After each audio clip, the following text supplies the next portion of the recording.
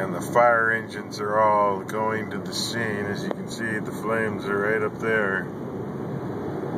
But this express lane is wide open.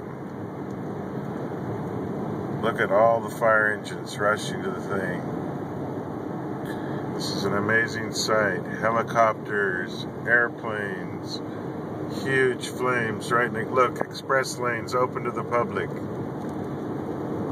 Huge traffic jam, flames right next to the road. An incredible situation here. Truly an incredible situation.